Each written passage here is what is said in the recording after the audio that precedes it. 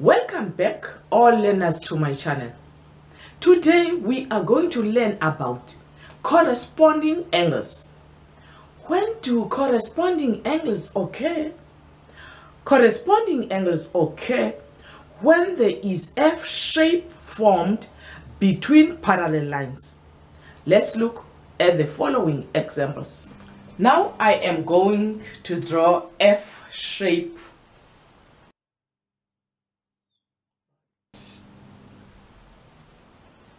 A B line C D line. AB line is parallel to CD line. Angle X, angle Y are corresponding angles. Y is at the same position as X. Therefore, X is equal to Y. In the following diagram, let's determine the value of X. I am going to draw the diagram.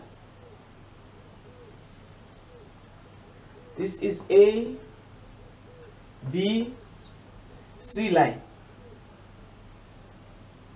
This is D, E line. This is angle X. This is angle Y. This is the 72 degrees. The angle Y and angle X are corresponding angles. The sum of angles on a straight line is 180 degrees because are adjacent angles. 72 degrees plus x is equals to 180 degrees. If we want to determine the value of x, 72 take away from 180 degrees. x is equals to 108 degrees. The value of x is 108 degrees. And also the value of y is 108 degrees. Therefore, y is equals to 108 degrees. The value of x and y are equal because are corresponding angles. AC is parallel to DE. Now, let's determine the value of x and y using vertically opposite angles and corresponding angles. Let's draw the diagram now.